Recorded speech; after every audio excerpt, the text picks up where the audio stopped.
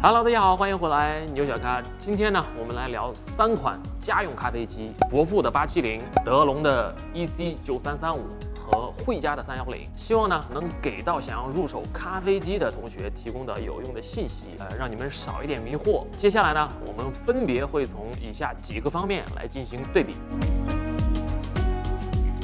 首先呢，我们先聊一下外观尺寸啊。EC 九三三五呢，它是一体机，呃，它内置磨豆机，所以呢，整体的这个体积它是比较占优势的，比较小巧。整体的设计感也很棒，上面的这个温杯区，后边的水箱，前边的面板都很有设计感。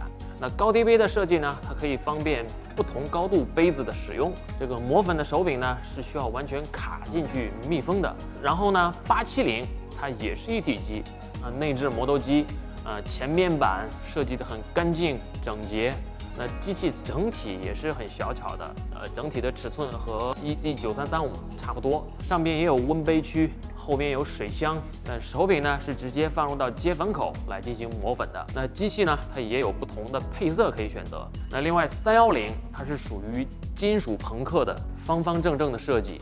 体积呢要大很多啊，上边也有温杯区，后边是一个水箱，包括呢它有一个纯手动操作的一个萃取。那三幺零它需要单独的配磨豆机，那就意味着你需要在家中啊预留更大的一个空间。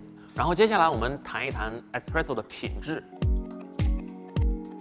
大家都知道啊，Espresso 的制作啊是所有意式咖啡机核心的核心的功能。那首先来说这个咖啡机的粉碗啊。伯父的八七零以及德龙的 EC 九三三五，它的咖啡粉碗大概能放十五到十八克的咖啡粉。那惠家的三幺零呢，它能放十六到十九克的咖啡粉。那能放更多的咖啡粉，那就意味着你做出来的 espresso 的浓度就会越高。那另外呢，呃，八七零和德龙的九三三五是属于一体机，所以在这么小的空间里边要塞一个磨豆机进去的话，它磨豆机的研磨的咖啡粉的粗细度。以及均匀度，它没有你单独在市面上那样的磨豆机呢，研磨的质量要好。市面上这种初级的意式研磨机，差不多也在两千块钱左右吧。所以呢，八七零和 EC 九三三五有时候做出来的 espresso，它的流速会比较快，浓度会略淡一些。那三幺零做出来的品质呢，会更高，但是呢，它需要单独的来配一台意式磨豆机。然后接下来我们再聊一聊打发奶泡的品质。那八七零呢？它用的是小的蒸汽杆，那需要手动来控制进气和进气量，呃，然后呢再控制后期的打绵，所以说呢，对打发的奶泡是需要有一定的技巧的。九三三五呢，它是桶状的蒸汽杆，它可以自动的打发奶泡，它是通过蒸汽杆上的 flat 和 form 这个调节环来控制奶泡的饱和度，它不需要你自己去控制奶泡的打发，说白了就是更傻瓜，呃，更方便懒人。那接下来是三幺零，三幺零的蒸汽杆和八七零的蒸汽杆是一样的，也是需要我们来控制打发奶泡的整个过程的。那所以呢，对人员的要求就有一定的技术。如果你掌握好了打发奶泡的技术，那打发的奶泡呢，要比九三三五打的奶泡要好很多。那前提是你需要有比较好的技术和技巧。哎，是谁这么调皮，给牛老师投了两枚硬币？难道是在暗示牛老师手把手教打发奶泡？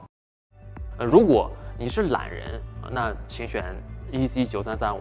OK，那最后呢，我们再说一下价格。那伯父的代购价基本上是在四千五百块钱左右。德龙的 EC 九三三五呢，因为它是新上市的咖啡机，所以说呢，它的价格比较高，在八千块钱左右。那通常新上市的咖啡机，它的价格都会比较高。那另外呢，惠家的三幺零，它的价格是在六千八左右。那单从价格上来说，那如果预算在五千块钱以内，那你选八七零就对了，或者是呃刚升级的八七八也是可以的。如果你的预算高一些，那德龙的 EC 九三三五。它也是属于一体机，呃，另外呢，惠家的三幺零，它需要再单独的配一台磨豆机，那一台入门级的意式磨豆机，差不多也要在两千到三千块钱左右。所以说呢，如果你要是买三幺零，那它应该是属于这三款咖啡机里边预算最高的。OK，那最后呢，我再讲一讲这三款咖啡机它适合的一个人群。总体来说，八七零呢是适合预算不高，但是对咖啡品质是有一定的要求的人。德龙的 EC 九三三五呢是适合有足够的预算，呃，对颜值的要求比较高，呃，不太喜欢捣鼓研究咖啡的这种懒人。那另外三幺零呢是适合咖啡控，你有事没事喜欢捣鼓捣鼓咖啡、研究研究咖啡的人。